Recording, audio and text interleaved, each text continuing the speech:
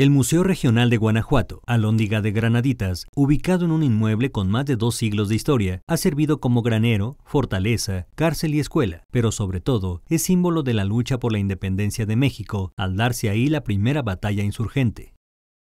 Este año cumple su 60 aniversario como espacio museístico, que celebrará con una serie de actividades, entre ellas exposiciones temporales, un coloquio internacional y trabajos de conservación en los murales que alberga.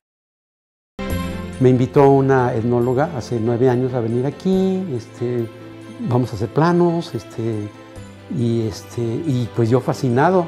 Entonces ya que tenía los, los planos terminados, con un compás áureo, empecé, empecé, a decir, empecé a encontrar cosas que no, que no había visto antes. Aquí más o menos se alcanza a ver que es, es uno, la palma, y los dedos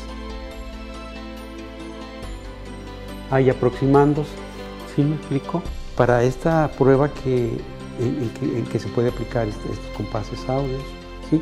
Y desde luego para nuestro, para nuestro monumental patio de la Lóndiga, esta es la planta de, del Museo Regional. El patio es un rectángulo que se forma con un doble cuadrado. Por medio de la diagonal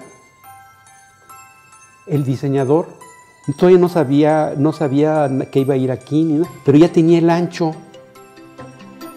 Y por medio de la sección phi en, el rectángulo ya tenía la longitud total. Esto es lo que tenía, no, no había nada de edificio, pero ya tenía el patio donde iban las columnas, el patio, el eje de los muros, y el eje de los muros exteriores. Todavía no había, aquí voy a poner un muro, aquí una puerta, no. Pero partió del trazo general tres ejes, un, el patio de las columnas, el intermedio de los muros y el exterior, que es el que vemos desde cualquier fachada. Generalmente tiene una proporción extraordinaria.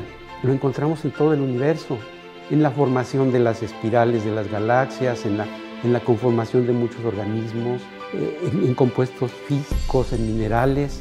Esto lo han descubierto los, los, científicos, ¿no? Y ya se conoce desde hace, desde hace 500 años antes de nuestra era.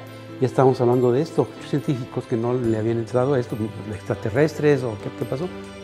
Simple y sencillamente es geometría y observación. Es muy importante para el trabajo de un museo porque produce sorpresa.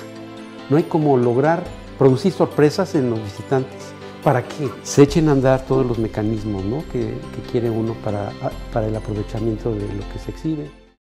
El Museo Regional de Guanajuato, Alhóndiga de Granaditas, es una de las joyas de la ciudad histórica de Guanajuato, declarada Patrimonio Mundial por la Organización de las Naciones Unidas para la Educación, la Ciencia y la Cultura. Notimex.